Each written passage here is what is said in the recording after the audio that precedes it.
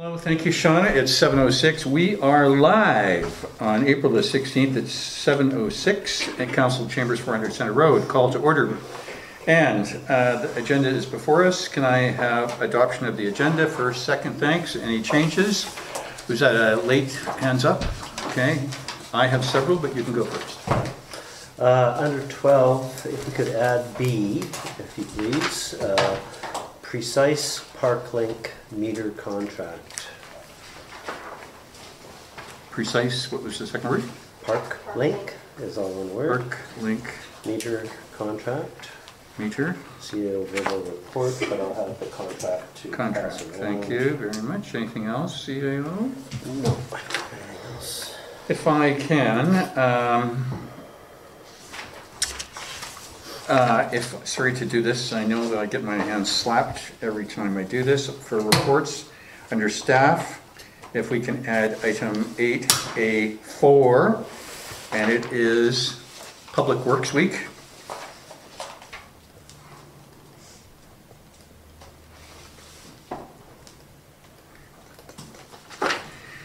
And uh, under mayor's report, could we, uh, where is that mayor guy anyhow? There he is. Um, So at night, number two would be glass notice board. Number three would be village update, op-ed on septic systems. Sorry, what was that? Op- Op-ed, On what? septic systems. Uh, Number, what's, whatever the next one is, it would be uh, wood burning. And the last one would be, these are short, Peter. And the last one, it would be LGMA Exchange Magazine.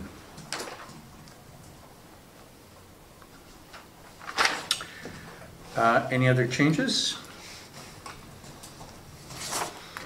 There being none, can I have a motion to adopt the agenda as amended? Thank you. Second, all in favor? Good. We are going live now. Public participation, we're shy of public tonight, so none. No delegations we know of. So if we go to item number five and think back like it was yesterday on January the 4th, and I'm sure everybody recalls this just like it was coffee this morning. Uh, Can I, uh, any changes to the minutes? To those other than Norm, or Counselor Barney, kind of left who weren't there. That thins the crowd, Counselor Abbott. They look fine. They're fine, they're fine with me. Can I have a motion to accept the minutes as they are? Thank you. I will second. All in favor? Good, we are done. Uh, Item D, 5B, uh, and that would be on, starting on page 7 of 104. And I have one change, and this would be for the CFO. This is on page 10 of 104. And it would be the one, two, three, four, five, sixth bullet point. And I'm just thinking here, the term infrastructure reserve, because um, Oh, yeah, it should be yeah. that special little name that you want to apply to it. No, Septic it's just, reserve no, it's actually just from the sewer surplus. thank you. Could you shout it out for Shauna? Sewer surplus. We should always have a surplus of sewer. Okay, I have no other changes. Anybody else? And I believe we, oh, there we go. We have a, a few, well, clearly the one all in the same place. So just uh, bullet points above that, Council Abbott proposed a three-step public participation process. First bullet's fine, second bullet is definitely not. I never suggested a referendum or for that matter a survey.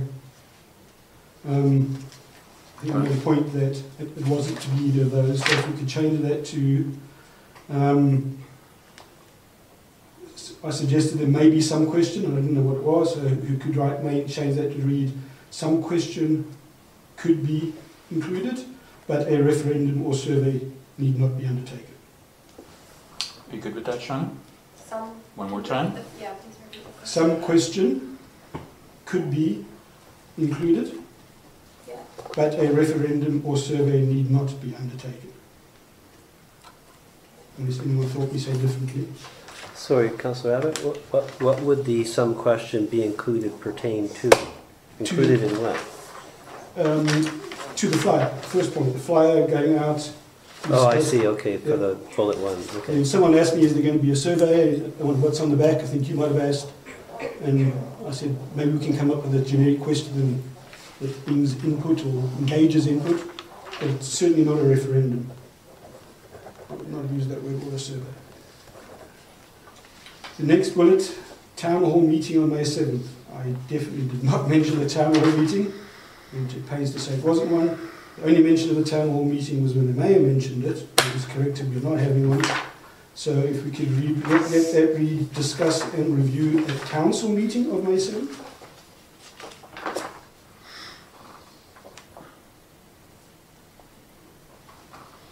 And then if we could add one more bullet, which I think would clear it up, I, I did say, if required, a special meeting could be held before or after May 7th if we had a significant input. It was a special meeting, not a town hall.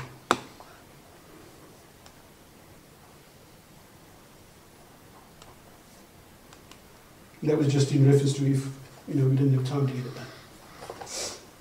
done.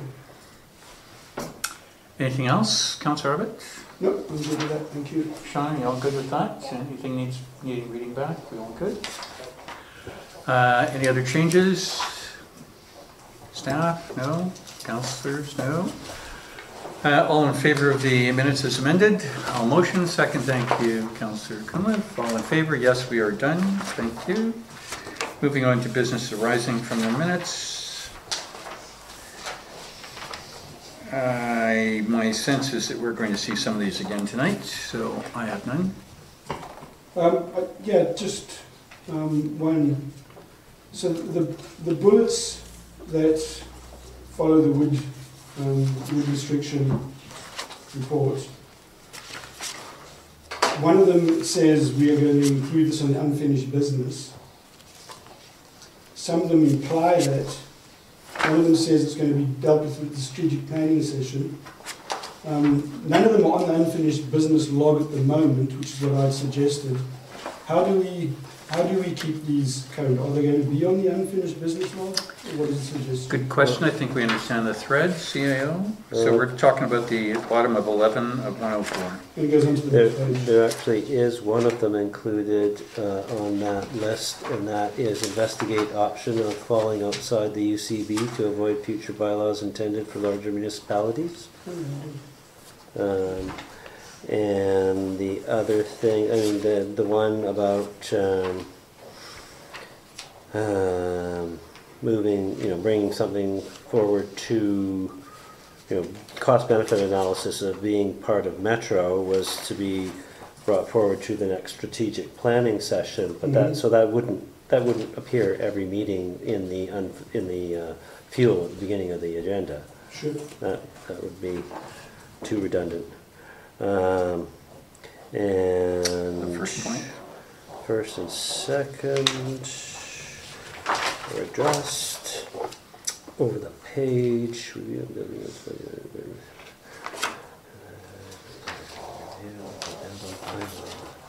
Yeah, at this point in time, the building bylaw is not ready to come forward, so that's, a- that's a future action that, you know, we don't wanna need, we don't need to see every, every week in the agenda. sure till such- about this. I won't. Okay. Pardon me? So we're sure we won't forget about it. No, comes up, I no, and I was actually at a conference today where they discussed the new model uh, building bylaw that um, I'm looking at. Um, So, uh, the next one, educate residents, um, that just seemed like a, that's just uh, something to be done in October. Um, So it wouldn't appear.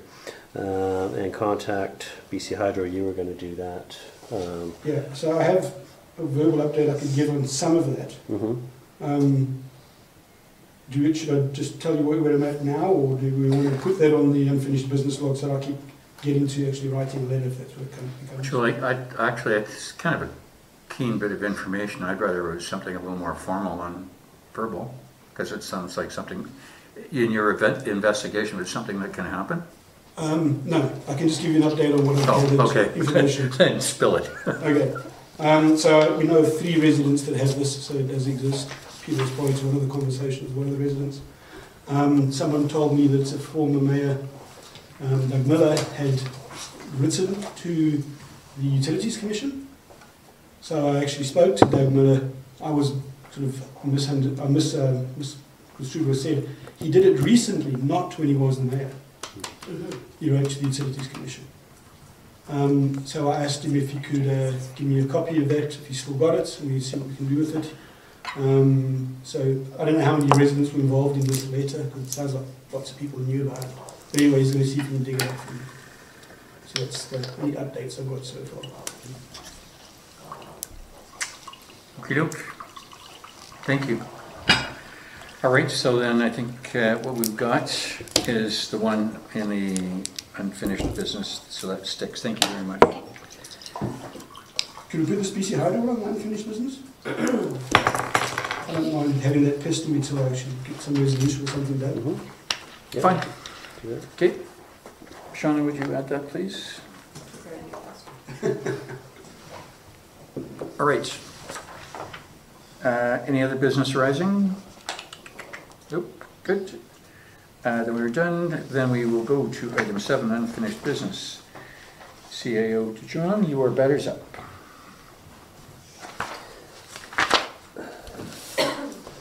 Uh, First one, haven't uh, taken any steps yet. Um, Second one, I haven't done anything with that yet, but I was looking at that today and wondering why I'm actually doing anything. I don't know that it's necessary to respond to the Legislative Assembly of BC to tell them that we're gonna look at this when we do our building bylaw. Oh, That just God, seems like yes.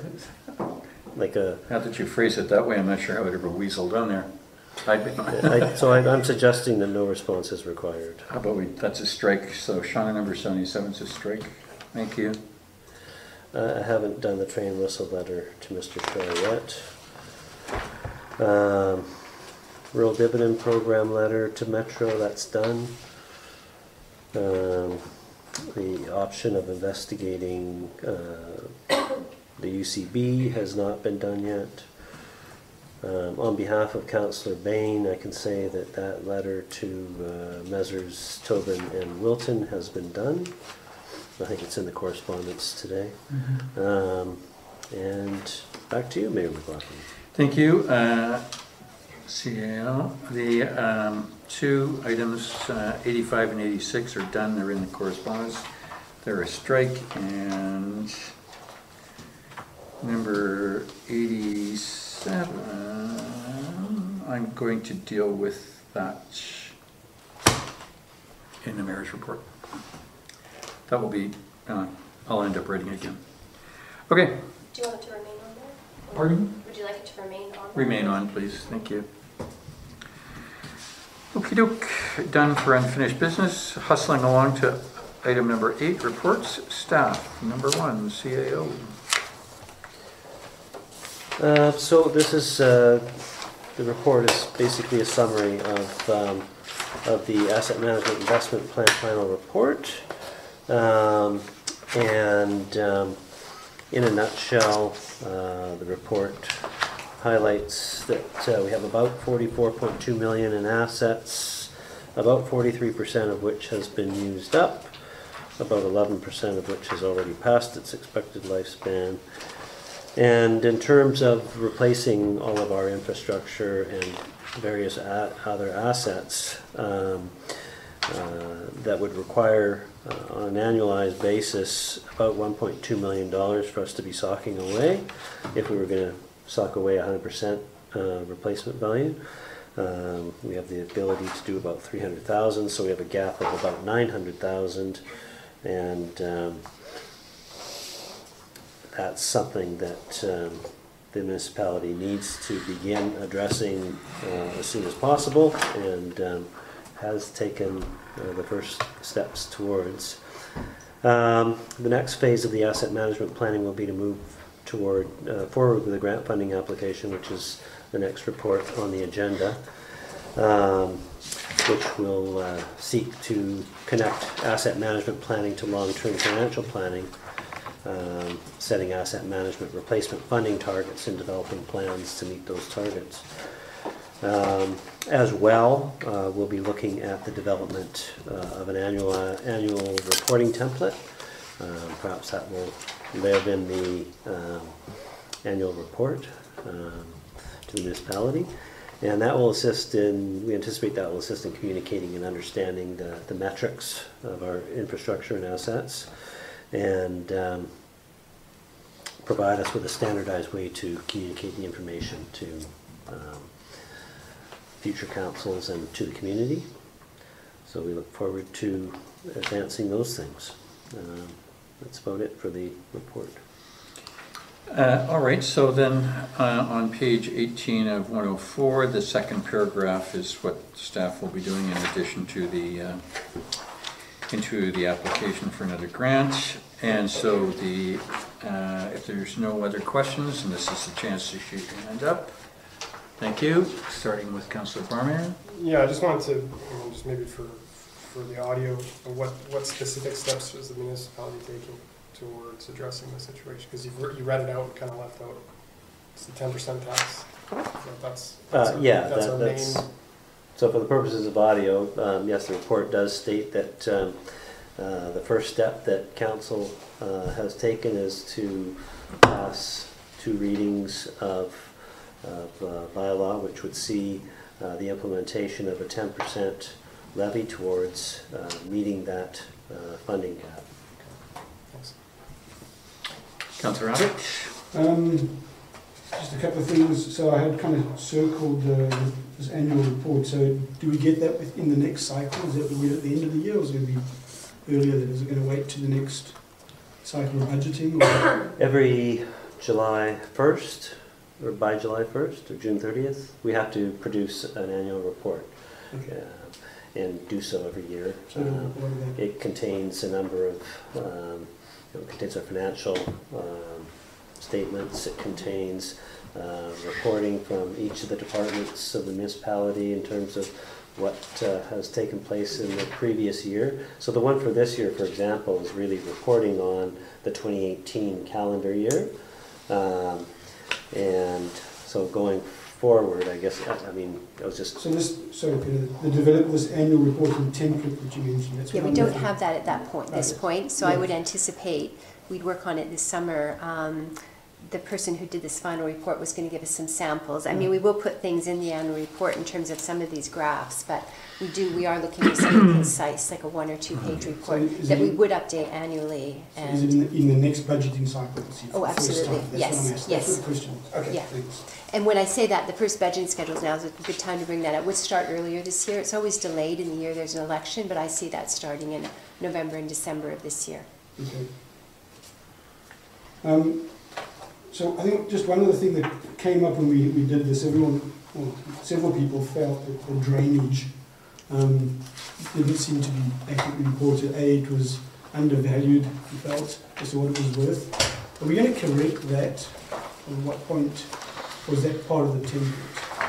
I'm sorry, I didn't hear. When we did this asset management, we had this presentation. Yes. There was a question from several people No, about the, got that about the yeah. drainage. Yeah, So are we going to correct this report, or does this template you envisage adjust these numbers, and will we Yes. correct it in the next yes, template? yeah, exactly. That's the next step in the phase two, is going through and um, taking a closer look at the numbers, use staff knowledge, fine tune the numbers. And that's why we talked about it being a living document. Yeah. This was the first attempt to bring it together. And that will also be part of, we would, we're doing that anyway, but it's also part of the second phase of the asset management, going through fine tuning those numbers. And then based on those, doing like a, try to do a 30-year projection of what our funding needs to be. Okay.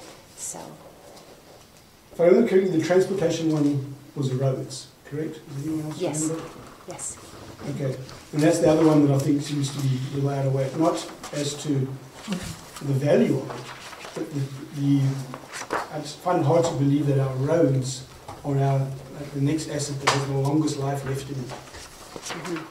That, that's another one I think we should look at. Yeah. I just, you know, Yeah. I think preventive maintenance on our roads, we're not doing it, and I certainly don't think we've got fifty percent life on our Mhm. roads.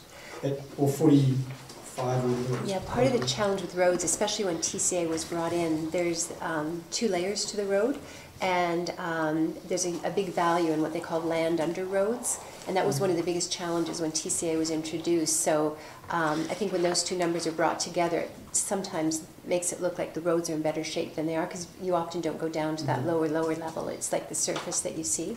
So, but yeah, we will definitely look at that, but that is part of the issue, is that we have the upper layer of roads and the lower um, value of roads, and part of that is the value of the land under the roads as well, goes into your roads number. Yeah, so if you allow the distortion to stay in place, we'll never get around to fixing the roads that are deteriorating. Mhm. But we have that separated, so we can actually, um, we don't just look at it in an amalgamated way. We look at the upper part, which is the more valid part in terms of the deterioration. Thank you. That's all my comments. Thank you. Uh, s- Which takes us back, thank you very much, everybody, for the questions uh, and for the presentation material. Uh, I'll put forward the motion that the asset management investment plan final report be received. Have a second? Thank you. Uh, All in favor of receipt? Thank you. Unanimous? Thank you. Moving on. UBCM CFO? Yes, so um, as you may remember, in the 2019 budget, we um, were suspecting that a second phase of the asset management UBCM grant would be coming out. It has come out. It's a very tight timeline. It's due May 3rd. And it's the same grant that we got for the asset management plan. It's up to $30,000 project and it covers 15%. So I budgeted for a $30,000 second phase project with a $15,000 budget. And as part of that application, like most grants, I need a, a resolution from council basically saying they approve us, staff applying for the grant. Um, what we're looking at for the grant, um, it's just sort of high level right now because we get the resolution, we apply for the grant, and then we'll have to do an RFP for the um, second phase. So I'm hoping to get at that, get that out. So once we choose someone, we could get working on the project right away. But it's essentially to um, develop a 30-year asset management revenue plan, building on the asset management investment plan that we have, and getting it so we can start using it for our budgeting processes and um, helping determine what assets are the priority and how much money we have to put aside for future replacement of assets.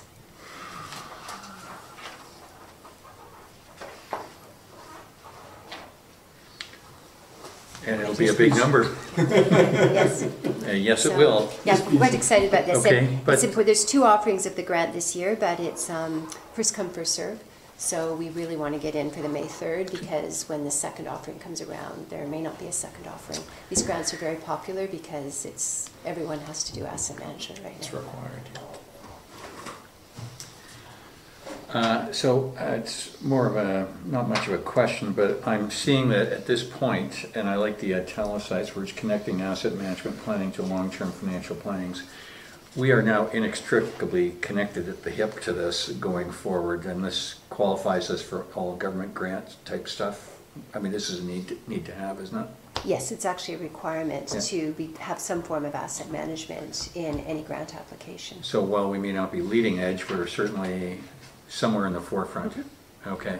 We're about in the middle, I think. High, middle? Middle, middle. Okay, we're in the, we're in the high middle. How do we win? Well, I think we're, we're making steps. Okay. um, So, uh, the recommendation on the table, any other questions? Nope. Uh, So the recommendation, recommendation is that council direct staff to submit a UBCM Asset Management Planning Program grant application for Asset Management Phase Two, connecting asset management planning to long-term financial planning and to provide overall grant management of the project. Can I have a motion? Good, second, all, in any discussion, done, all in favor? Good, carried. Thank you. CAO, you are up next. Uh, So this report is uh, on uh, budget communication principles um, and sets out um, really the um,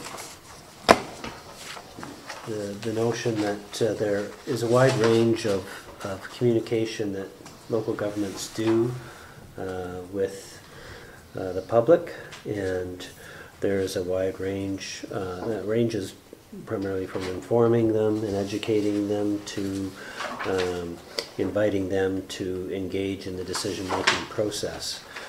Um, With respect to budget communications, as, as stated in this, uh, in this report, um, I think what it really comes down to is um, educating and informing the public about um, what that budget looks like, uh, what the proposed budget looks like, uh, both uh, in terms of operational dollars and in terms of uh, any other significant items, such as, in this case, um, this year, the infrastructure levy of 10%. Um, And it, it's, it really comes down to council um, making those decisions and uh, doing what council uh, thinks is best for the municipality at that point in time.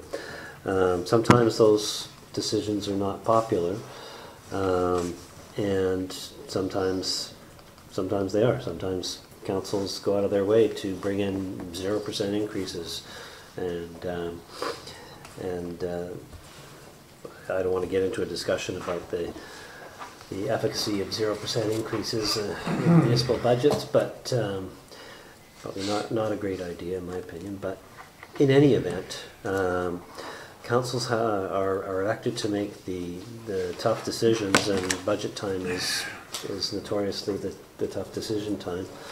Um, and while it's always necessary for elected officials to um, have their ears open and to listen um, to their residents and um, electors uh, in respect of all matters, but in particular uh, budget matters.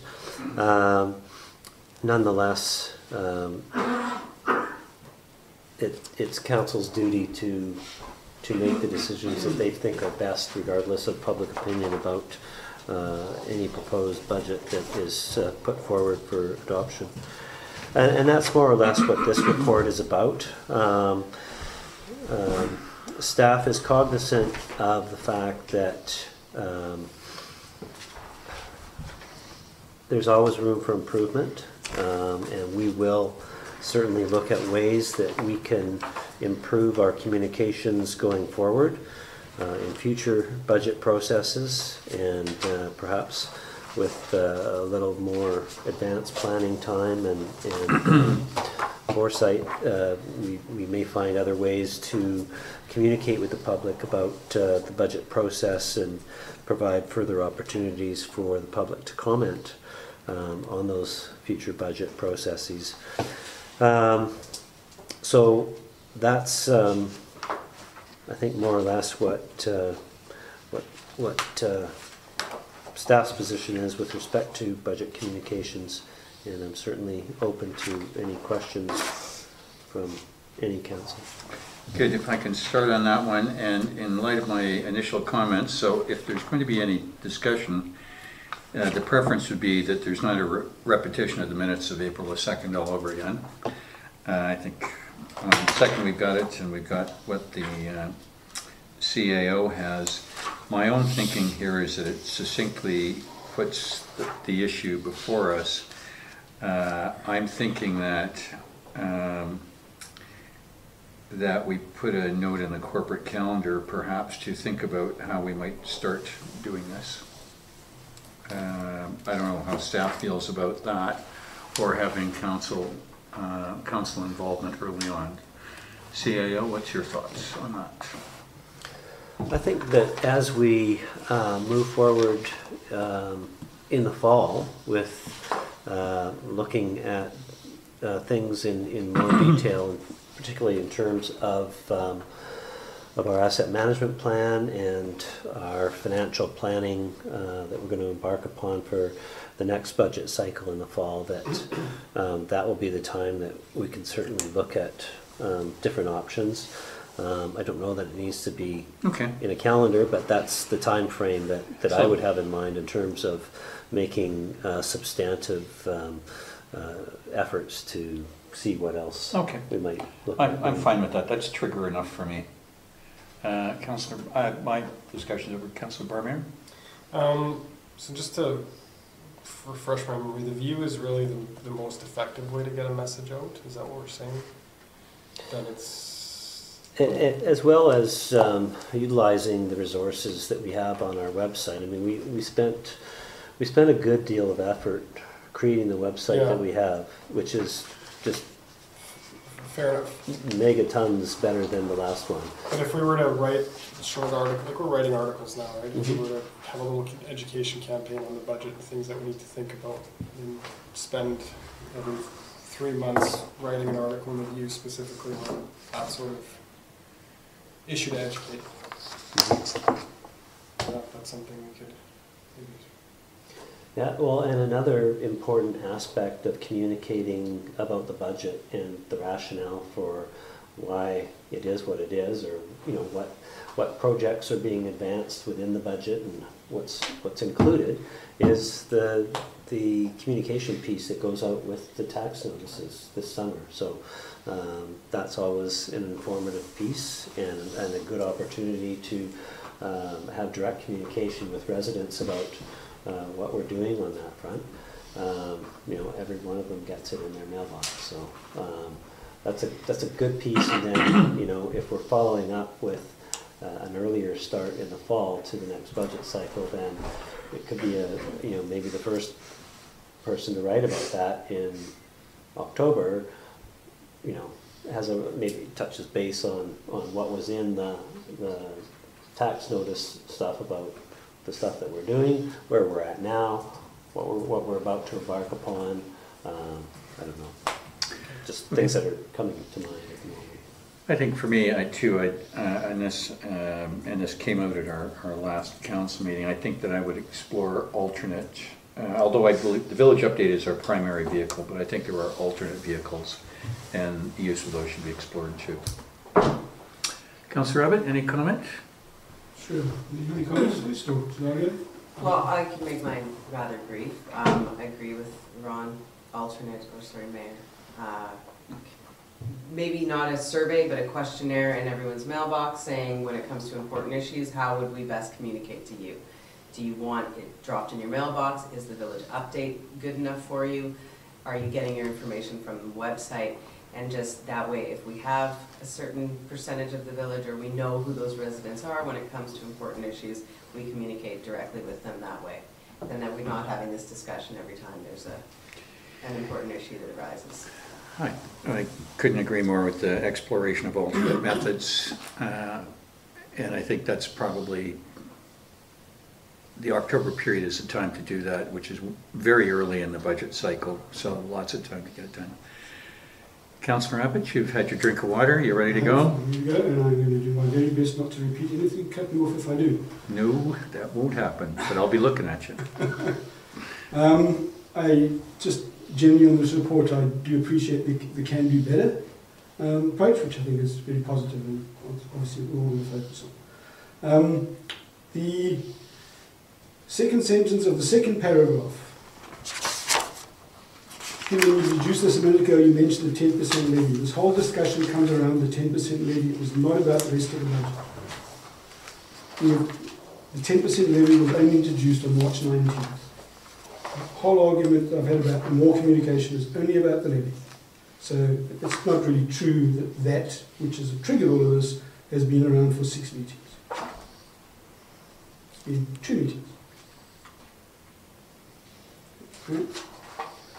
Um, I was asked, I wrote a, asked was asked to, I wrote a, yes, I was asked to, sorry, and I wrote a village update piece about communication in January, whenever it was. Um, I shared that strategy with the CEO, but no one else. five goals that I sent to the CEO, making sure included, can't remember. Um, it was just in an email. Um, through some of the discussion last week, I've now read our electronics communication policy and realised that I should not have done that. I sent it to the CEO, I had to send it to all the rest of council. So, um, I too am educating myself on that policy, and there's a few other things in there I think all of us should read, because none of us are following that policy. Um, I was planning to do another April 26th village update, and it was going to be on communications piece, what we managed to improve, the numbers have gone up, um, not solely due to that, but we, in that we published the numbers, we invited people to go, go to the village update, sign up, and we've, we've made progress on all of those things. So I was going to do an update on that, um, and this was always the plan that I was trying to get to was building some momentum of communication and keeping the, the communication code flowing. It wasn't meant to be a one-off piece of that good, good sort of thing. And maybe other than what I shared with, with, with Peter and staff, maybe others didn't realise it. I don't know, but that was what was what I had in mind. I'm prepared to not do this one on April 26th if we need to first share my thoughts and get everyone on board with the same thing. One of the things, for example, was meant to be that letterbox that says have your say, and I put certain wording on it. Peter wanted to change, Peter changed it. Sorry, the CIO changed it. Maybe I didn't explain to everyone. It was meant to be an open communication. Drop us a comment anytime you like. That was what we were trying to get to. But it wasn't meant to be a one-off thing. And I think the, the picture of it taped up with masking tape in the store now just sends a very different message. So, I'm going to, I'm going to stop there, but what I suggest is after this meeting, I share that original email that I sent to Peter, maybe we all comment on it. And if we can get something that everyone's happy around communication, I'm still happy to do the bulk of the work. Um, by the 26th, then maybe I don't do that on the 26th. Um, Because there seems to be, if there's meant to be another plan around communication, than what I was trying to achieve. I want to say one thing. Yeah. Because I, I, I noticed a really big difference between last, my last term, which was just one year, and this new term, which has only been a few months.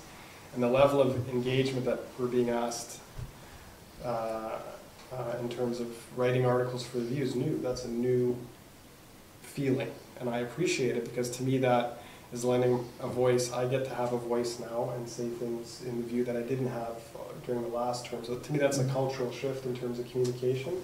So I'm already seeing um, an improvement, and I'm not in any way trying to um, dissuade you from, from promoting it even further, but I'm just saying there already has been a cultural shift. I'm not sure if that's coming directly from Ron or where that's coming from, Councillor, uh, uh, Mayor, pardon me.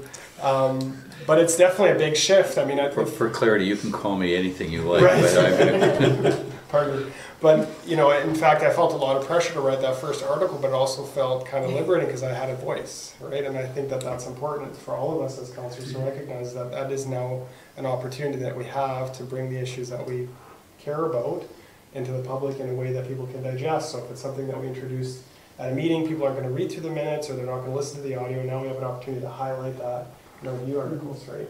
So I appreciate that, and I think that's going in the right direction in terms of communication.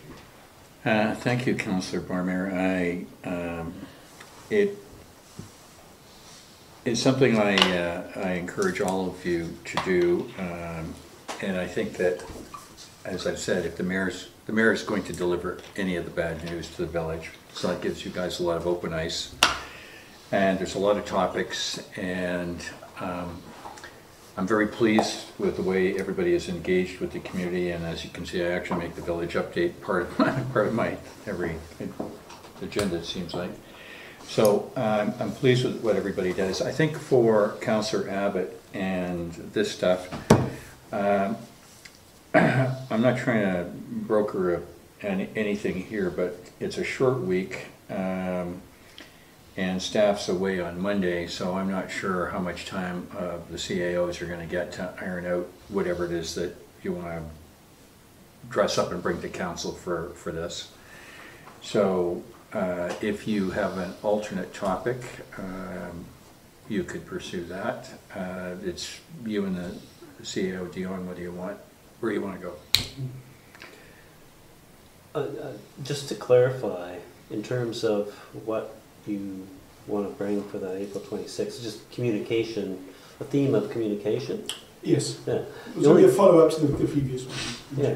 But I I don't have any issues with that. The only, the only issue that, um, you know, that I, that I had with respect to um, methodology of communication is the letterbox. Having it be uh, a wide open suggestion box uh, living in the store without any kind of process or um, uh, tailoring of, of uh, how two-way communication is to take place. And secondly, and perhaps more importantly, uh, I'm not sure that it's an effective means of communication because, for example, of the 70, 75, whatever the number of paper copies that we got in respect of the wood burning uh, survey, um, only 25 or 26 of them were in the, from, uh, from the letterbox. Um, so over 50 were from, or about 50 were from people bringing in them into the village office or putting them through the letter slot of the village office or coming into the office and filling it out in the office. Um, the vast majority uh, of responses was via the electronic survey on the website. And that is always going to be the most efficient and effective method for receiving that kind of information from the public. Um, so I- I, have some, you know, I just have a, a number of different issues with the letterbox being um, out there. Um, we have opportunities for people to email all of council. We have opportunities for people to click on the feedback form on the website if they just want to freestyle some kind of a comment. Uh, we get those all the time. More often than not, they deal with matters that uh, staff need to attend to, or they're handed off to Public Works to take care of something, or for finance to look into. Once in a while, there are things that uh, end up being a topic that comes to council. Sometimes, when council specifically requests feedback regarding a particular matter, um, you know, a particular topic, then, and, and, and people are invited to um, use that uh, response methodology, then we collect all that feedback and we report back to council on what, what people had to say about that topic. Um, so those are already proven methodologies that work um, and that people do use.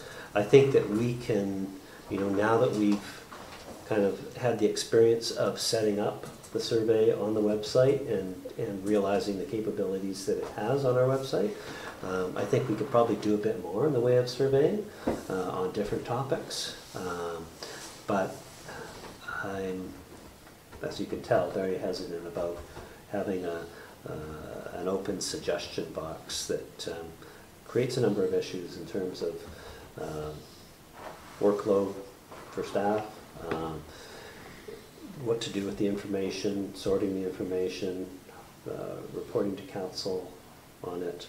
Um, I think that there's better and more efficient and more effective methodologies for doing that. So other than that, by all means, I, I, I think it's wonderful that, um, that uh, you're reaching out, Councillor Abbott, and inviting people to um, communicate, and to have their say. Um, and uh, I don't have any issues whatsoever with that. So on those, on the email I sent you with the five goals, the fifth goal was create no more work for staff or something along that line. Maybe it was the fourth goal. Anyway, it was, it was in my email. I was very intent on not making any more work. The letterbox, the original word in the letterbox was meant to be for council feedback. My idea was if someone wanted to drop a message to council, and that's why I thought I was going to get to keep a key, they could put it in there. Um, and I don't mind opening them if they're abusive, burning them, and if not, share them with the rest of the council and staff. Yeah, I don't mind doing, do- if, but if it says that it's for council, not for village matters, if it's got something to do with the village, um, you I guess we'll pass it on. But I was, the intention was not to create more work. It's, you know, that kind of thing would be an operational thing that staff ought to look after. It shouldn't really be something that council is uh, tending to directly and um, just creates other And the only idea for it was that, and I know it's a small portion, it's a small portion of the community that actually don't have email. And they have to pass by the office in order to get to the store, so they can easily drop something off at the office or through the letterbox. There's a, there's a little thing that catches stuff on the inside. So it's just as easy to, to drop it at the office, as, as we found, like two to one. All right, By a score of two to one in terms of the letterbox versus the office, that's where people All right. drop stuff off. I'm going to call uh, time on the topic here. Uh, Counselor Abbott, I think you should write on the communication piece for the 26th. I think I'm, I'm not fettering you on any topic. I'm not fettering any councillor what they want to write, but I applaud you for doing it. I applaud where you're going. I think uh, CAO DeYoung is the ultimate editor for you, so there's your, however it goes out to press, that is the way it is. Uh, I would, as a suggestion though, uh, and this is for you to talk to staff, how you frame your, your meeting, is that our probably number one or number two mailing day of the year is the tax notice that comes out. Uh, Maybe there's something in there along the lines of where Councillor Cunliffe was going, that if you prefer not to be on, please mail this in. Uh, If you want to be on the village update, please send this in, or something like that. I mean, it's a one time where every, every resident in the community is touched. And so we can put some strength on them, other than you and I banging on every door in the community, which I'm quite prepared to do as a drop back. But uh, I'm gonna leave you with that, my thought on that one. So I think, uh, uh, I will give everybody one last second on this one. I said I wouldn't, but I'm going to. Uh, My view is that Councillor Abbott and CAO DeYoung work out whatever, whatever the article comes out as, I'm fine. Any other counselors? Counselor Cunliffe, you're good? Counselor Barmeier, you're good? with the uh, open communication and Yeah, working on and that side. I, Good just job. because I can't always find the village update ones, can you send me your article again, the communication one? Would that be okay? Sure. Sure. I think we could all, act- actually send it to everybody again. Beats the digging. And I will copy everyone the original email I sent to Peter now that I've read the communications policy. I think, I, Send me the well, let's, let's, let's, policy, I think on the communications policy, I mean, there's time when you want to, I I can almost feel a claw in my right hand here. There's times when you want to communicate with the CAO directly, and that's fine. I think on the communication piece, the biggest one is if you see that three of us get uh, copied on something and nobody else is sending it into the, into the pool, make sure it gets in. That's, it's, sometimes we all get so many emails, we just, that's, that's the one guide. So three C, we all see. All right, so, uh, last call on this one then. Uh, So the issue on this uh, budget communication principle is that the information report budget communication principle be received. Motion, second, all in favor? Done, thank you. Thank you very much for that. Uh, Which brings me uh, to Public Works Week, which I stumbled upon when I looked in the corporate calendar. And the, uh, there it is. We celebrate that every year. Um, it's always the week after, the week after the Victoria Day holiday. How do And we celebrate it? Um, the staff, the staff here hold a barbecue for Public Works staff on Wednesday when the office is Pretty nice gig. To celebrate our wonderful Public Works staff. And we make them bring the barbecue and cook the hamburgers. Well, that's, They Well- just, they just take over, you know? Yeah. We, we buy the food and everything, and but they actually cook the hamburgers. We've done it for about well, actually since I've been here, Mhm. um, four years. Yeah, it's quite a nice. We just quietly celebrate them, and Wow. it sort of seems the preferred way they want to do I it. can They're not. burgers Yeah, I was gonna say, I cook food. I like barbecue. Do we get a? all right. barbecue? I, I, I, Sure uh, you do. I see the uh, staff um, quite a lot, and I see a lot of smiles on people's faces, so I'm, I'm glad. Good, all right, just saw it in the corporate calendar, and I thought, okay, there we go. Anything else you want to add on that, CFO? All good? Public Works Manager, is there anything you'd like to add? No, not at all. It's a, a well-liked event by the staff. What a surprise. Mm-hmm. All right, very good. Uh, Okay, next up is uh, B, the mayor stuff. Uh, Quick thing, verbal is that uh, one of the executive from the events committee met uh, CFO Rook and I. Wide range of topics, tax receipts, and the village involvement and assistance, and we're going to be see- seeing some of that in a resolution that appears shortly. Uh, If you don't have their ticket, get it, it's going to go. Uh, Any questions on that? Nope. good. The next one is the glass notice board, which I can't remember if we talked about this last time, but this is the, We did. Isn't correspondence the board that is the, uh, it has uh, some odds and sods at the, um, to the left-hand side as you're facing the mail room, as you're going towards the door. Uh, Blue painted two-by-four raised case, and so uh, the Strata Council via their president, uh, we said, I said we were interested, and I think if I, from memory, which isn't very good, said I don't think it would take much for us to pretty it up. Uh, And, and I kind of saw it as kind of uh, a vehicle to do something as for Counselor Cunliffe volunteer thing, and it's probably blow up the thing or whatever we de- decide to do. Anyhow, it was a work in progress for me. So uh, I'm going to, before I give you over to um, the CAO for his thoughts on this one, uh, the president of the Strata Committee, there are three points were, how do you see it working? Would it be prettied up? And my personal favorite, monthly license fee.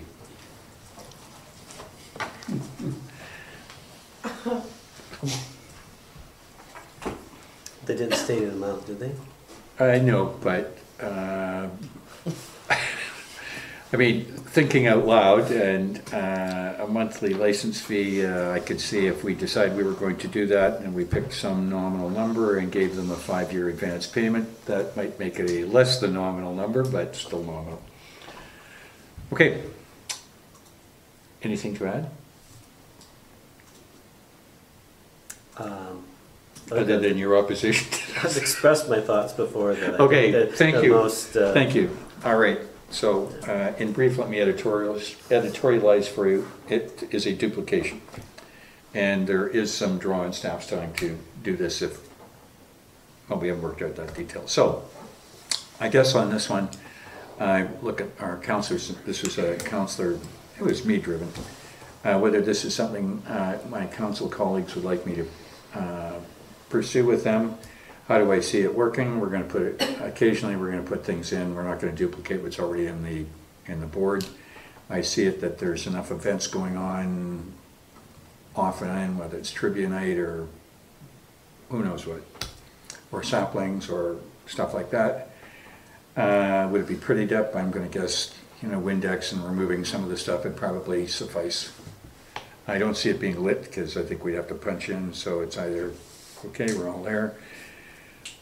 Uh, before we get to the topic of monthly license fee, everybody, this is a chance, either this is a bad idea, and I'll drop it, and I'll say thanks, but no, or would you like me to pursue it further? Yes? So when you said saplings, that made me think, oh, okay, well, that's a business, so yes, we have a partnering agreement with them to provide assistance by advertising anything in the village update that they'd like to advertise.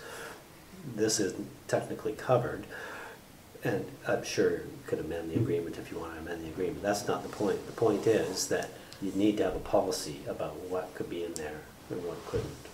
Um, Just, just Mhm. alerted me, just red flag, you know, make sure that you have a, po- if you're gonna do this, Yeah. you need to have a policy about who can be in there, because otherwise every business would be saying, well, I want to be in there too. Yeah, the, the uh, beverage, alcoholic beverage provider for the village, I'm sure they'd be first up.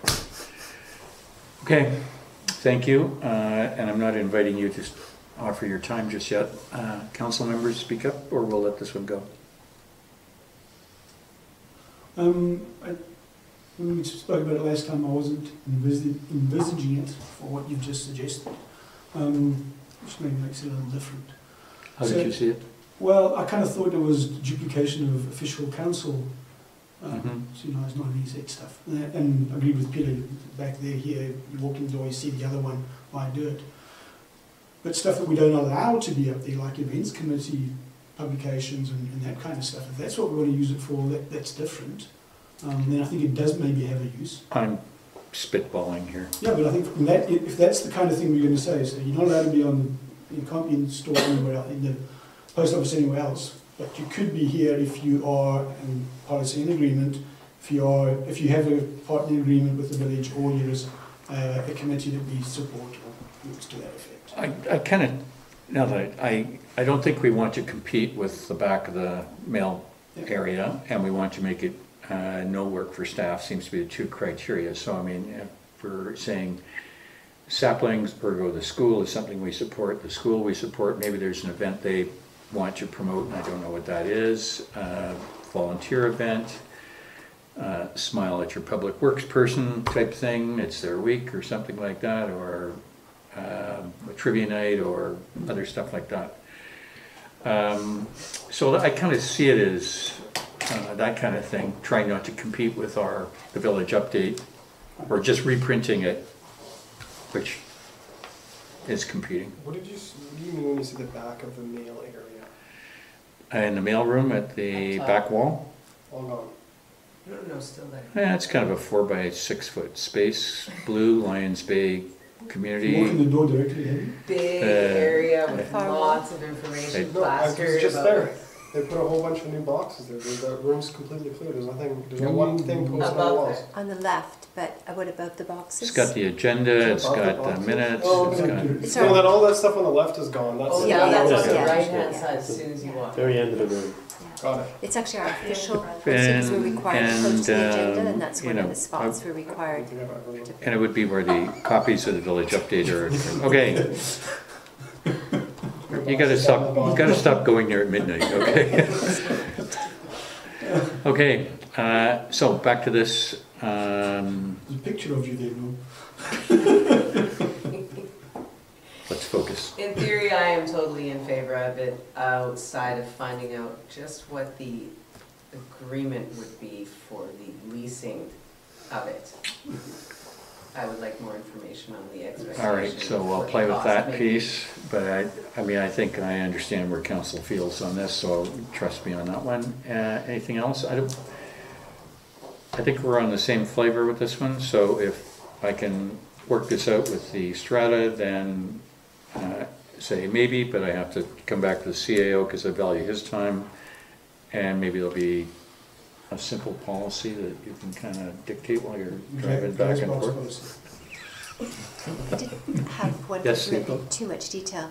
It's currently used for a lot of different events, so it would have to be a communication, and then, like, I guess all those people would then have to come into the village office if they wanted to post something, and then we would determine whether or not it could be posted, and then Yep. we would post it.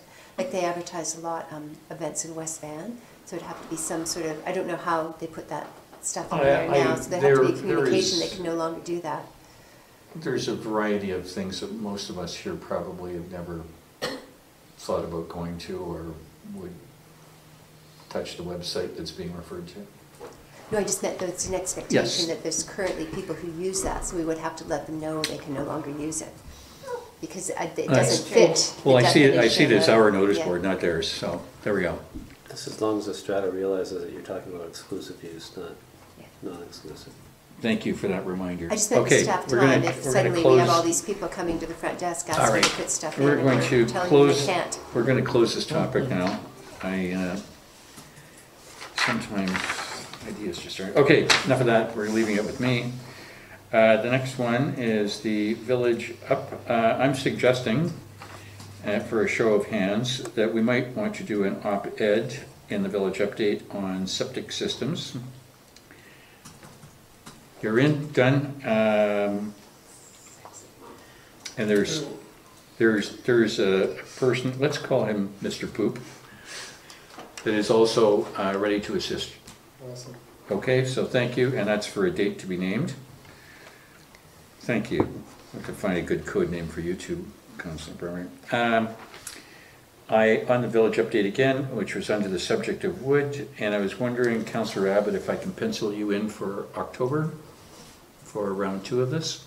Oh, okay, sure. Okay, and since I just happen to have my calendar here, Is that for the what to burn and the clean burning we talked about?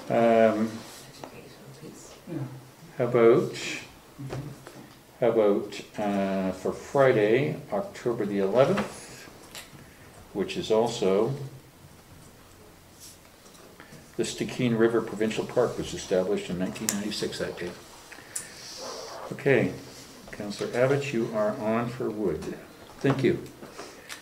And, uh, next up was uh, LGMA Exchange Magazine, which uh, I'm not, I, Peter gets these. Um, Does everybody else get one of these? Uh, Welcome to give it to you. I noticed a couple of months ago, this comes out quarterly, that um, Anmore, it's on the back page, is, uh, it's a community member, community page, so we're all part of LGMA. And this particular quarter, it's Fruitvale, they're celebrating their um, hundredth something or other in the summer. But, and this is the surprise, I have us on the page for the winter edition. And, surprise, surprise, Nancy says, hi, Peter. Nancy Taylor, who's the executive director. She was gonna write you, but I said, no, no, let me just break the news to her. So this goes along the lines of our, um, our uh, media session where we define who we are and we can use this going forward. And for other stuff. Sorry for that surprise. Uh, Actually, to quote, she said, "Good morning, Mayor McLaughlin. Thank you for calling this morning. We'd be happy to profile Lions Bay in our town section for the winter exchange. I'll connect with Peter later in the fall to set up the word count and deadlines. Here's a link to our past magazines. And there you go, Peter surprised him. There we go. Thank you. Oh, and as I was looking at the back page, I also looked at the uh, front page. Who would be the editor of this magazine? Fun fact, Therese Nicholson. Aha! There you go. All right. And that concludes the mayor's report. Council members, anything? There being none, committees none, emergency services none, resolutions. Going, background to this is on page 55 of 104. And that is as a result of um, uh, the CFO's, my, my meeting with the events committee. So the motion before us is the council relax the noise bylaw and the traffic and parking bylaw to allow live music until 11:30 at 140 Lions Bay Avenue on Thursday, June 27th, 2019, to, comma, to allow angled parking on Lions Bay Avenue excluding cul-de-sacs, no parking areas, and fire hydrants, and to waive guest parking passes for visitors during this time for the events committee's beach parking fundraising events. Can I have a motion on that? Thank you, Councilor Cunliffe. A second. Any discussion? Just Councilor Abbott? Just one question on the, on the parking permits. Um, So I asked this question last week, we had some uh, event in our neighbourhood and um, I was instructed to come to the village office and pick up a bunch of permits, which they gave me gladly, and I went off with a whole bunch of permits and gave them out and put them on the dashboards. Is that not the way we should be doing it, rather than just not having permits for the night? I particularly care one way or the other, but I was just wondering, what is the standard policy? Uh, Verbally, CFO Rook could confirm, I think the uh, events committee executive asked that we just waive it in a specialty thing to make it easy for them and that there'll be folks with Lions Bay stickers on it and then other guests that don't. And that for the evening in question, between those times, it'd just be waived. I would tend to agree with making less work for a volunteer committee to ensure that every ticketed guest has a parking permit. That's adding a whole bunch more stuff that someone's gotta do and they're just trying to do something good for us, so I agree with waiving it. I think if it was a Friday night, maybe there'd be something to talk about, but it being a Thursday night, I think that's the best methodology. There's no bylaw enforcement officer out that evening in any event. You fine with that, Councilor Abbott? Good. Uh, Any more discussion? Call a motion, all in favor? Unanimous, thank you. And CFO Brooke, will you pass that on to the committee? Yes. Thank you very much. That's that resolution, oh. Oh. Okay, uh, the next one was, With the next one, if there's any uh, discussion required um, that needs to be enclosed, then we would move to close for that discussion, but um, if not, then, um, and the purpose of, uh, of setting this out as a four-year term was so that uh, we wouldn't have to do it every spring. For the foreseeable future, the idea is that Mr. Dennison would um, be our official liaison with Department of Fisheries and Oceans um, with respect to the ongoing uh, glass sponge reefs and and other um, uh, ocean environment um, issues that uh, he deals with them on. Um, And that would simplify things in terms of essentially taking it to the next council to either renew or whether it still needs to be ongoing at that point would be, and it could be canceled if, if it becomes moot at any point in time. so. Do we get a report or anything? We haven't to date, but um, I think he did, Sean, did he mention something in his email about reporting back or something? I thought, I think he did, didn't Would he? if anything came up, Yeah, if anything, basically if there was any, any new information or, we um, need, that we need to know about. And we could perhaps even, you know, we could, we could request that, you know, once, at least once a year, and if not, maybe twice. On behalf of us, just to. Just to come and give us a talk and tell us what, uh, what, Interesting stuff. what he's up to and what's going on, and, and then if there was a need, he could let us know, something to come and tell us about, but that's probably a good idea. We could add that in. Okay.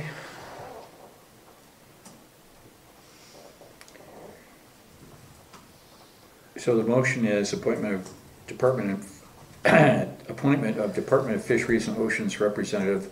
The council reappoint Glenn Dennison as the Village of Lions Bay's liaison to the Department of Fisheries and Oceans for a four-year term. And request that he provide an annual, uh, report on activities. Good. I have a To council? motion. To Se- council? Yes. Second, thank you. Any discussion? All in favor? Unanimous, thank you. And if staff could apprise Glenn of that, that'd be wonderful. Thank you very much. Bylaws, who doesn't love a bylaw? CFO Rook? So this is the um, five-year financial plan bylaw to be read a third time. There were some changes made to the bylaw, so I wanted to highlight them in yellow. It was actually good news. We, I had put in kind of an estimate of what I thought we were getting for the gas tax funding, but in the federal budget, it was announced there would be an increase, but we weren't sure how, who was getting the increase. So we found out after we had read it um, for the first and second time, and uh, we are getting a one-time increase in the gas tax of fifty-nine thousand dollars.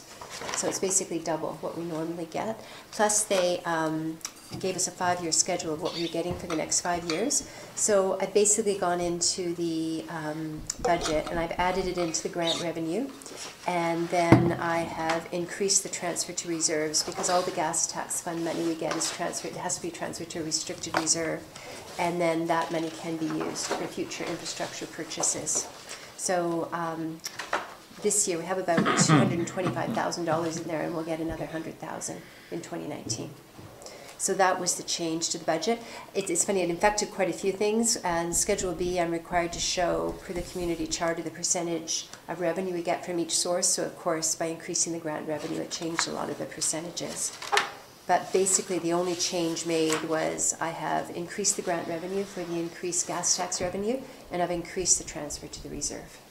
And everything else is unchanged in the bylaw. Good, uh, we'll do this backwards. We'll go to discussion before uh, we go to the motion. Uh, I have a question that's not financial. Uh, Is there a reason why we can't do fourth reading tonight on this? Yeah, Yes. you can't, you Okay. can't adopt on the same day as you give third reading. You have to wait at least twenty-four hours. There's only a couple things, a couple bylaws where you don't have to, and that's OCP and zoning, for example. Thank you. Okay. All right, can I, uh, so the recommendation is that the 2019-2023 five-year financial plan bylaw number 560, 2019 be read a third time. Can I have a motion? Thank you. Second, thank you. Any discussion? Um, got just a question for probably to help educate myself. The municipal, Mississippi, right, the borrowing of the three hundred eighty thousand for, for trucks. When did we do that? Uh, we did that in January of 2019. It was approved in the 2018 budget, it's just there was a delay in um, us getting the trucks. Um, Okay, So we're, there were five Public Works trucks. We, they were supposed to arrive in 2018, didn't arrive to 2019. So I got approval for the MFA borrowing in 2018, but I didn't borrow it until I needed it. So we actually borrowed it in January. It's a five-year loan. okay. And we did that instead of leasing the trucks. We had done, um, the prior council, we had done an RFP um, for five Public Works trucks for leasing and for purchasing, and it was much better economically to purchase them actually than to lease them. Okay, right, so that was, uh, that was why I was a little confused about that. Mhm. So, but we borrowed three hundred eighty thousand dollars and bought five trucks. Yes. Um, so what is the basis for forecasting from borrowing on that same line item through the next four years? That is, um, ties into, when I, uh, if you remember this schedule that, um, basically the future capital was based on our borrowing bylaw of the three million dollars. And when we had gone to the public, we had, so this is the whole assumption I've had to make for the five-year plan, and this will probably be the last year we do it this way, is, um, I just assumed we'd, the grants would still be coming, even though doesn't look like they may be. Sorry, just- So it's, it nets to zero. So basically, I have Yeah. grant revenue, I have proceeds from borrowing, and I have the capital, and it nets to zero. I understand now, just, uh, what, on that same line item, one, the first one was for trucks, I'm thinking we buy another five next year, what's going? Yeah. Now you've explained, they're It's- not, they're not related, they just It's have to be the same basically. I'm anticipating that grants will continue to come, and we have the authority to borrow to um, get those, and then it's got the capital, but it may not happen. Just not, it's not more trucks, that's all. No, no. Five was enough. Um, and then two other questions on, on page sixty-two. Um, what are the recreation and utilities, what are those? Um, It's very, very minor. It's I know that part of the marina is zoned recreation. That's the one, it's on the list, Yeah. all right, answer down this time. As you say, like, it's- it's, the percentages, it- they're so small it even get, I have trouble even getting to add to 100 Okay, without going to three decimal places. I think I asked that last time you told me the other. um, yeah, okay.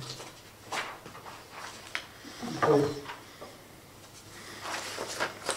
All done? Councillor Abbott? Yeah. You're good, thank you. Uh, Then, uh, do I just reference the bylaws, CAO, or do I read the whole thing? Just one line that you can, Just a well, one you line? already, you, al- did you know, you already read the, uh, had the motion. Okay, So it's been, it's been motioned and seconded. good. No more discussion? Call a motion, all in favor? Good, thank you, unanimous on that. Yeah, Next up, yeah, I don't hand up. Oh. Um, before anyone, before anyone tells me uh, what I'm doing, I'm going to abstain. I know that's a yes vote. But the reason I'm abstaining is because I still have an issue with the ten percent tax and how the communication happens. So I understand my abstention is a yes vote. This, I should have thought of this last time.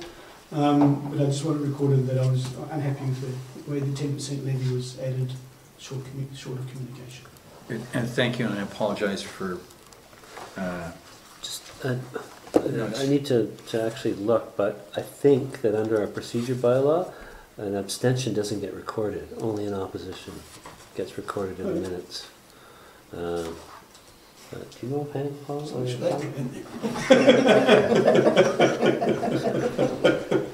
I'll still abstain anyway. I'll still abstain and you can go work it out afterwards. If it's a silent, if it's a silent abstention, then Should have it in the back of my book. Do you want to recess for a minute, or just? wanna look? A good try.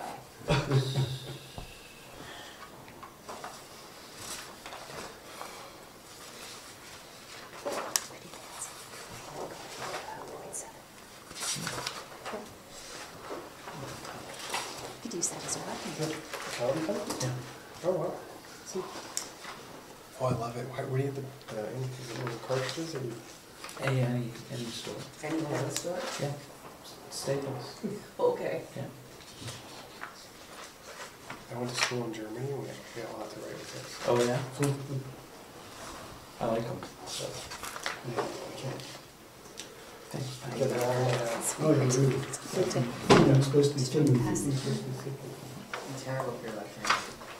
Yeah, yeah, absolutely. It's not what I thought it was. Dad writes like this. Uh, come on. He's got perfect cursive handwriting, but it's bizarre.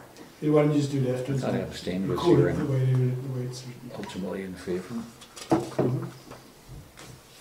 Yeah, I mean, it's, that's why I'm saying that, uh, you know, legally it, it becomes a, a yes vote.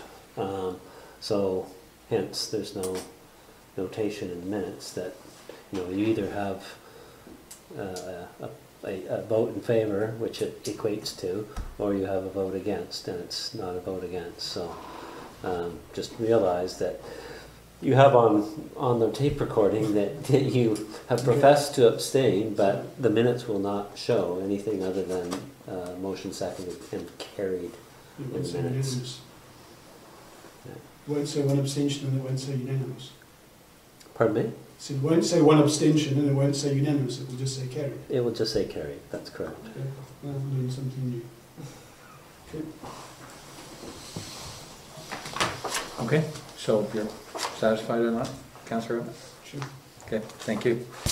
Moving along, CFO Rook. This is our tax rate bylaw.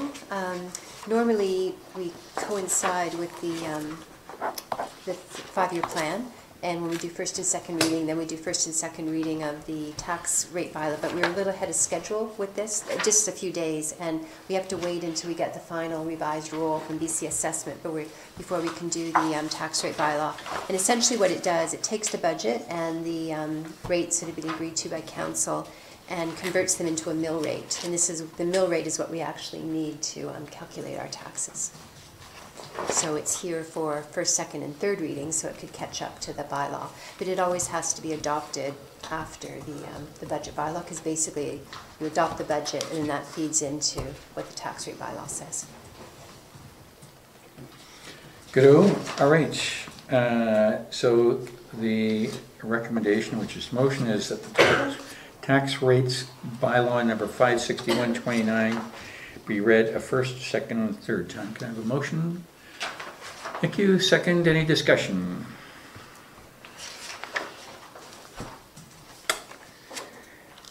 All right.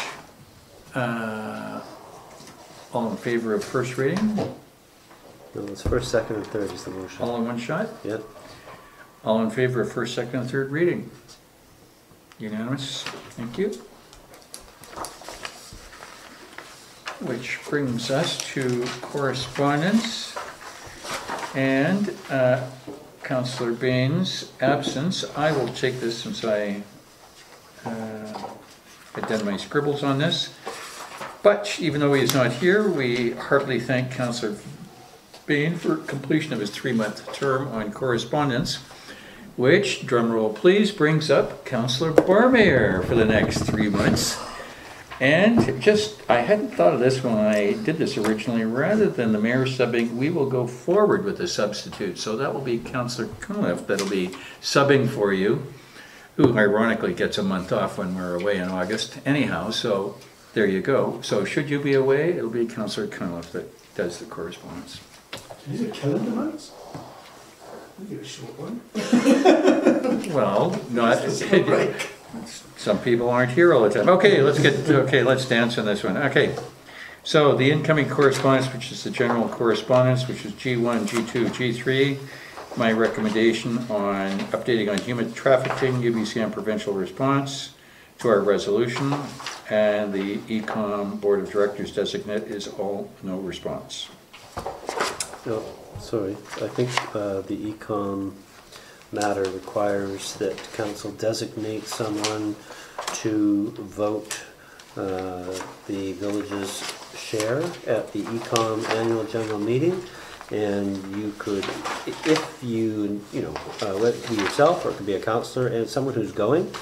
If none of council intend to go to the AGM, you could uh, pass a motion to uh, essentially provide proxy to uh, Walton. Director Walton Director Walton. former Mayor Walton of District of North Vancouver, who is the, uh, who has been appointed as the representative of the North Shore communities to vote Lions Bay's share if you instruct him uh, in accordance with how you want those votes to go. Not having seen what the agenda. Oh, items having look seen what like. the agenda is, and I, but I trust in Mayor Walton, I, I will not be going. Something missing in the communications? And that this is on So is page four part of, page, uh, on the, it's page Page five in the highlighted red bottom. but what's page four? What is page four related to? That's just information? Page, well, Ron kind of lumped one, two, and three, tried to lump one, two, and three together. Yeah. One and two are two different matters. Okay. So page one, one, two, three, four. So page three and four is the province responding to the resolution that was passed at Got UBCM it, got in it. favor of ASOP, basically, Yep. and telling us that they're not gonna do anything with it. Uh, Is that the end of that then? Are you in there? For the time being, I For the think. time being. So when UBCM looks at their number of topics that they do when they gather, that might hit- hit the list, it might not. Okay, so back to the E-Comm. So, as uh, CAO DeYoung has said, we will do the motion, which you so eloquently said was giving Director Walton the opportunity to vote on our behalf. That was the synthesis of it? Yeah, so Lion, Lions Bay has a share. I forget if they're A shares or B shares. Just A, Uh, one A, one A. One A share, okay. So, yeah, that's what you would be authorizing him to vote. uh, Or you can not do anything and not vote on any items at the E-Comm AGM. But I don't know, I I haven't checked what their agenda is or what they're voting on. um, So um, you might want to just cover your basis by um, designating uh, your vote to um, Director Walton. And um, if the instructions, I don't know, maybe, maybe this, the, the most efficient way to do this would be um, to uh, direct Mayor McLaughlin to review the E-Comm agenda with Director Walton and provide him with direction on voting for Lions Bay's one A share um, on any matters that Lions Bay may be concerned about. Does that make That sense? sounds more responsible. Thank you. Perfect, and I will, it's June twentieth, I got no promise. Thank you, thank you. Uh, Hustling through, the next bunch is the resident correspondence, which is R1, Mr. Liu, that's a response from me. Uh, Mr. Mackey, that was responded to as well.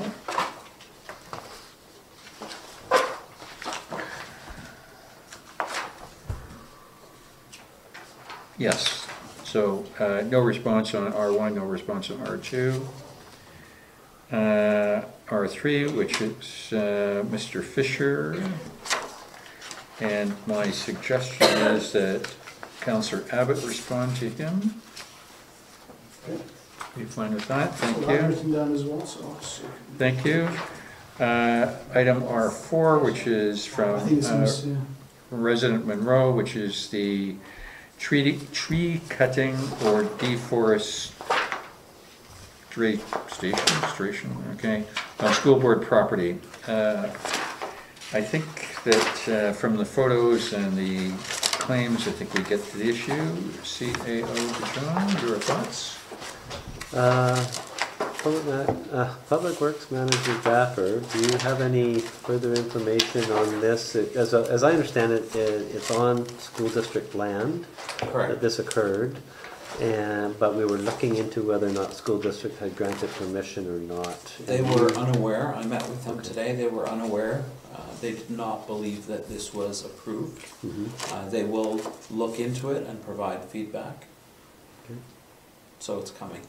So this is just a resident decided to pull a little clear. Allegedly, we don't know for sure. We'll find out. So in terms Uh, of, I- Sorry, Yep. I will add, so trees were not uh, cut down. All that happened was twelve, all that happened.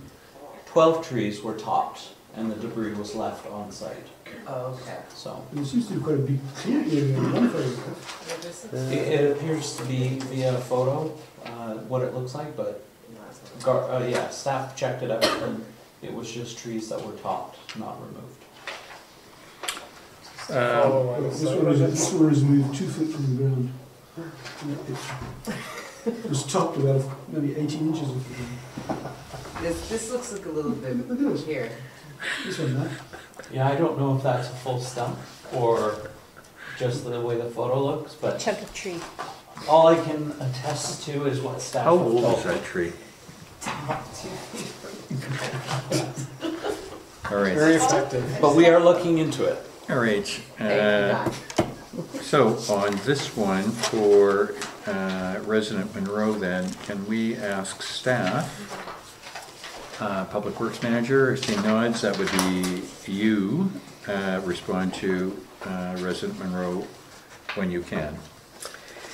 Uh, Item number R5, which is from Mr. Waller, uh, and I think as you can see, he and I have met, and uh, I will respond to him if that's fine with council. I take no hand up, meaning that's a yes. And uh, R6, resident Penny Nelson, and that's on page 29, and, um, and there we are. And I think that the pieces covered here are, have been covered by CAO DeYoung in his report on communication. Uh, Can I ask the CAO to respond to this resident? All right. Thank you very much. Can I just make a point on that? But Um, I personally believe that council should respond when people address council unless it's a technical issue. Um, and I know that Penny Nelson was hoping to get response from the council member she addressed and not the CAO.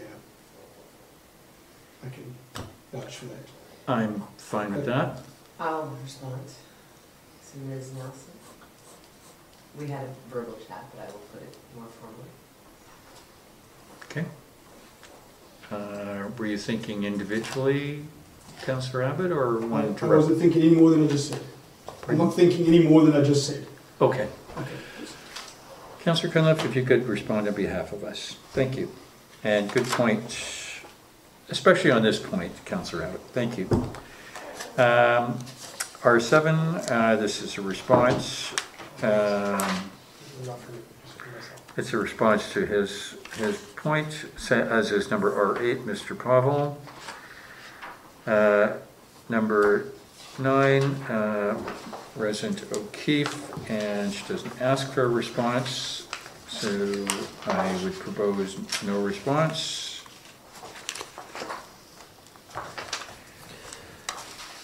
Unless there's any disagreement on that. There being none, moving to the next one, which is uh, Messrs. Tobin and Wilton, and that's the absentee Councillor Bain who responded to them, so no response. And that concludes correspondence. Can I have a motion to receive the correspondence? Thank you, second and received. Which brings us to the tricky part of, oh, not quite, we're not there, but it's coming up quickly. Uh, New business, the uh, community signage, community and school signage verbal updates.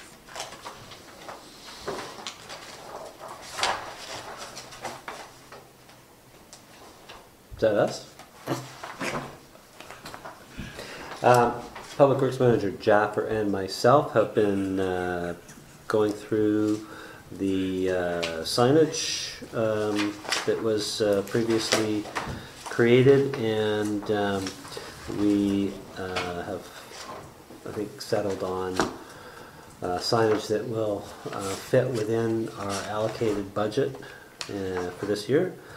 Um, And then there's gonna be a couple of additional signs. It'll include signs, a couple of extra signs that um, um, John Dudley and Trailblazers have come up with in terms of information uh, about um, the different summits when you first head up the Lions Trail and Unnecessary Trail and so forth. Um, so we'll, uh, we're working towards getting that uh, happening. There is uh, one hitch before we do that in terms of the signage that's intended to go in front of the municipal hall. Uh, that have arrows to, you know, council chambers upstairs, Broughton Hall this way, office this way. Um, I think our, the intention to begin with was that that was going to be um, right beside the, the notice board that's out there.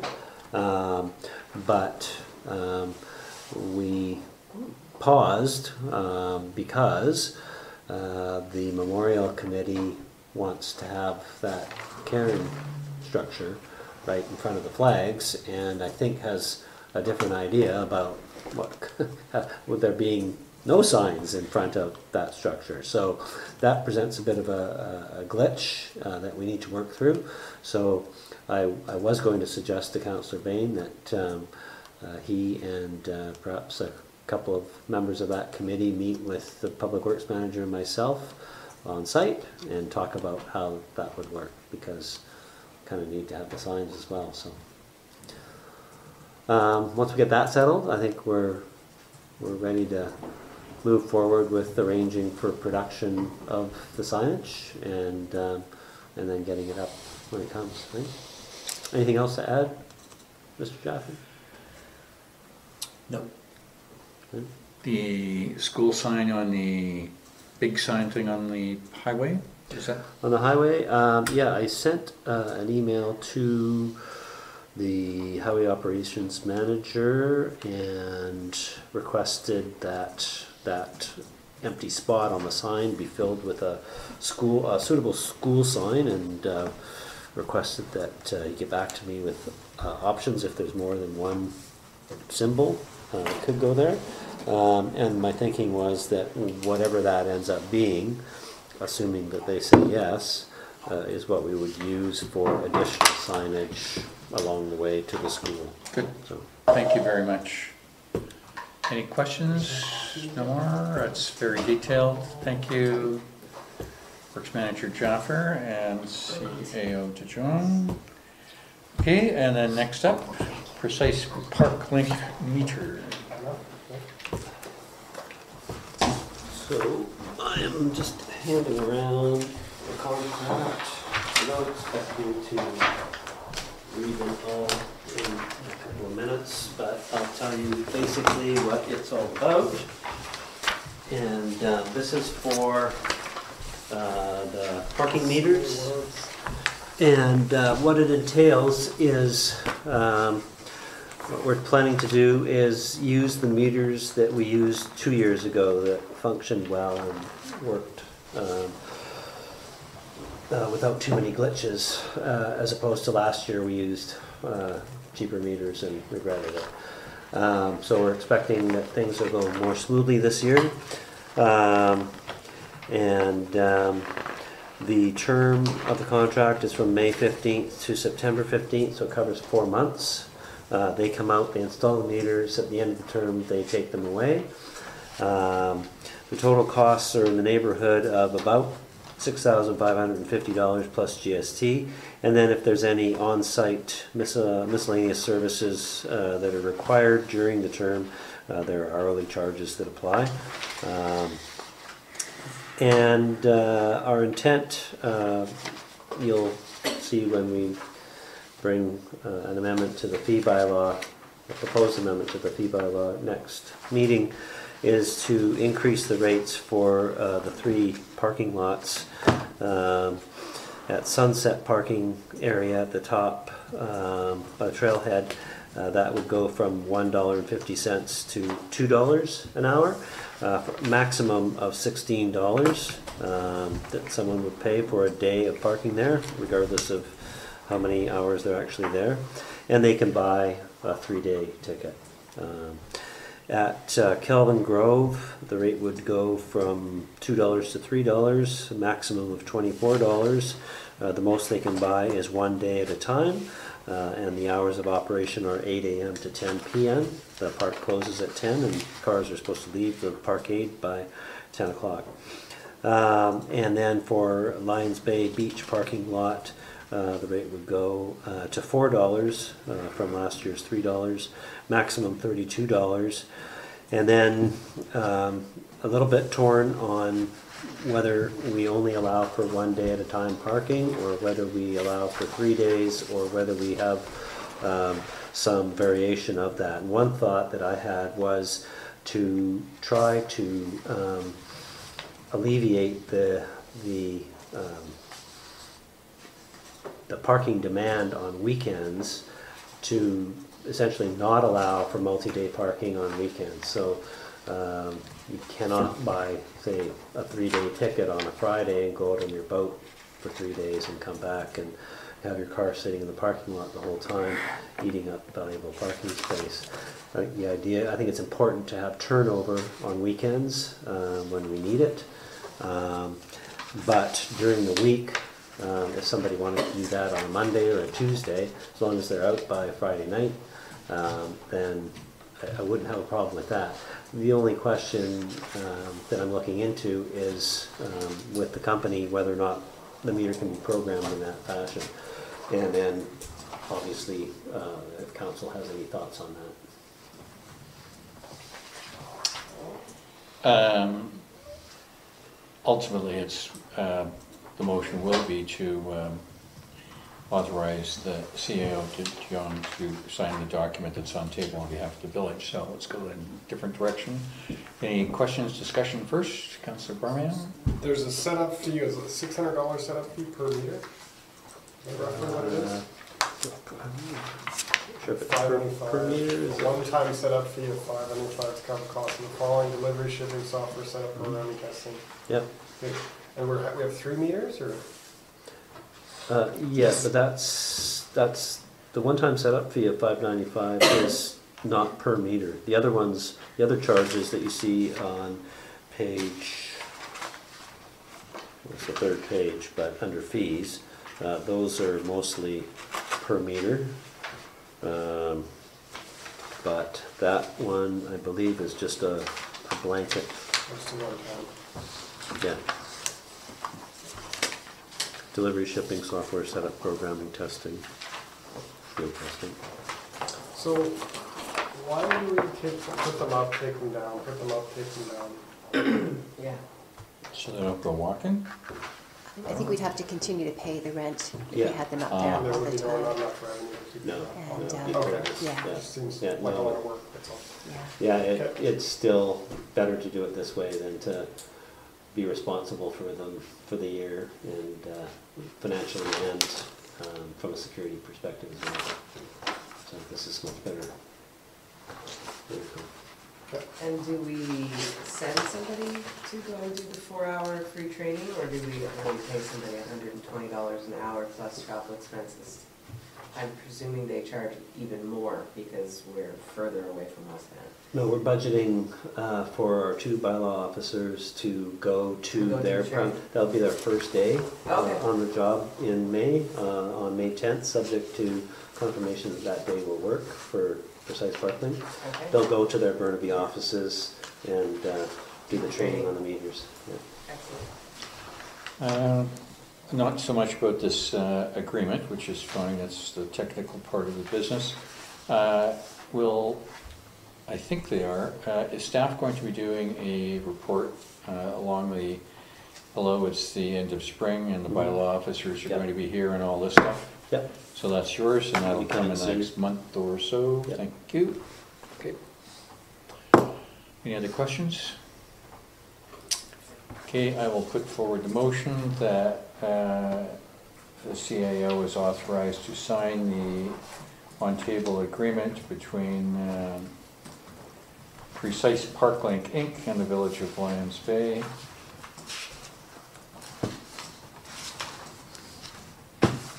That's the motion. Second, thank you. Discussion, all in favor? Unanimous, thank you. Done. Okay, that ends new business, public comments, unless Oscar the Ghost is up. Nope. Sorry, just before we go, move on past new business, it probably should have been somewhere else, but um, uh, the beginning of the uh, agenda, probably should have remembered that Councillor Barmeier was looking for an update on Harvey, Harvey Tank. I was and, uh. Well, it's, it's new business enough, okay? mhm. Okay, So do you want to provide that, Mr. Jaffer? We are working with AECom to model the system uh, for extreme summer drought uh, and low water supply. Okay, Uh, And that will provide fire flow info to the fire chief, so he and his staff can prepare um, a readiness plan in case there is a fire. We're also looking uh, at sourcing a tanker uh, that we could drive to and from different fire sites uh, and connect the, the engine, so it's under control. yeah, the volunteer event, which was great, it was a lot of fun, a lot of talking and lots of residents, you know, uh, you know, I guess just a general social space, but that came up, that was a Mhm. question that came up. So I thought we would, maybe I should ask. Yeah, it's a concern and we're, we're working with AECom and the chief Okay. on it. and unless things have changed since last time I wrote, this is one of the topics to be covered by staff in the village update at a moment soon and to be near you, okay? Yep. The other piece was, uh, because it just, you know, because I live up on Ocean View, I see the changes in the water flow down through the ditch. And um, two of my neighbors were just kind of curious about what's happening up at Harvey and what. So right now, so in the absence of the Harvey tank, the Ocean View tank will provide our reservoir for firefighting and for chlorine contact time. So potable water has to have a minimum time for chlorine to act on any pathogens. So we're working with uh, Vancouver Coastal Health uh, to get their approval on the way we plan to implement this. Um, Putting Ocean View online and commissioning it for potable water requires that we perform a, a very rigorous cleaning and superchlorination of the tank to disinfect it before we put it, uh, connect it to the potable water system. So that's what they're doing now, is they're flushing it? Correct, Okay. yeah, yeah. So, so Ocean View will provide potable water for a portion of the village that used to get it from Harvey Tank during the winter. Correct. Okay. Yeah. A much smaller tank, right? Three hundred thousand gallons smaller, yeah. And the rest of, the reason why that should be okay is because the rest of the Harvey tank is really for fire, firefighting. We only ever use the top couple of feet for Correct. potable water. Yes. Okay.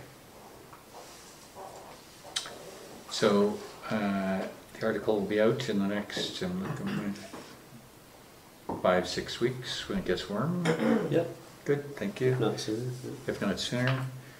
All right, any other questions for the Public Works Manager on this one? Councillor Sorry, Barbieri? one last- Sorry, one last question. When do they start the actual construction? Uh, demolition, uh, will happen sometime after the long weekend, uh, and it Easter- dependent upon. Easter long weekend? Easter long weekend, dependent upon Vancouver Coastal Health approval of our operational plan and a couple of other contingencies that we're still working on. Okay, so the tank's in fabrication yet? Tanks in fabrication, yes. You approved the drawings? Yeah. All right, and just curiosity thing, is there uh, advice in the update for this week that trucks are coming and stuff like that? No? No, Okay. right now it's just No. operationalizing Ocean View. That's fine, okay, the Upper Ocean Viewites are smarter than your average bear. I Figure what trucks mean. Okay, thank you. Uh, thanks for that. Uh, Councillor Barmeier, you're happy with Yeah. that? Good, thank you. Appreciate it. All right, uh, no more topics, you know, we're good, good, thank you. All right, uh, couple of questions and comments, there being none. Um, We come to the closed council portion of the meeting, so the proposed topics, I'm going to try my best on this one. But I've got last week's cheat sheet here too, so, okay. Uh, uh, The proposed topics for discussion in the absence of the public are A, personnel, labor relations, B, crown charges. And on that matter, that the council considers that disclosure of law enforcement matters could reasonably be expected to harm the conduct of an investigation under or enforcement of an enactment. That the meeting be closed to the public on the. Sorry. Whoop, So that, so that's where you pause, and then Where was the cheat that's sheet the here? motion, that's the motion that's on the, somebody needs to make the, mo- oh, you've read the motion, so I guess the question is whether there's a second or. Ah, sorry, Okay. I didn't read my own cheat sheet, okay. Could I have a mover, um, well, we're not gonna disclose the information. Hmm? Sorry, looking at my cheat sheet from last week. So what you just read out is, is the motion. that Is the Somebody motion. needs to move, Thank you, and then second. all in favor? Good, unanimous. Counselor Abbott, your fingers didn't flinch. Ah, um, You know what I the, guess what I was going my original thought was that we should use clause N to understand what the Crown charges are about because that matter we've been told. So it's hard to say that it should be going into closed if you don't know what it's getting closed about. But clause N requires that you have that discussion closed in any Exactly. event. So it's on the list. I know, that's Clause N saying. is there, so we're going to close, and then we have a discussion, and if you decide, if council decides that it doesn't need to be enclosed, your cheat then you can- I just Go back want up. come back up. Yeah.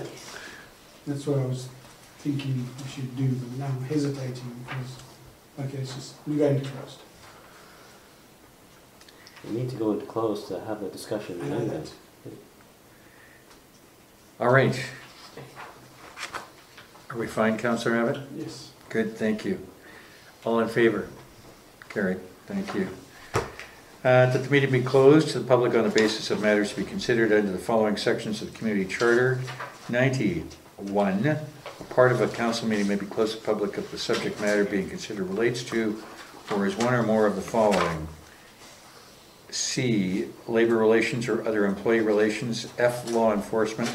If the council considers that disclosure could reasonably be expected to harm the conduct of an investigation under or enforcement of an enactment. N, the consideration of whether a council meeting should be closed under a provision of this section or subsection two. So if I look at my notes here.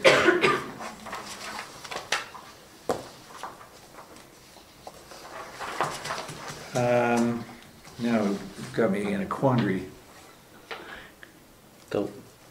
I would have suggested that we weren't going to be,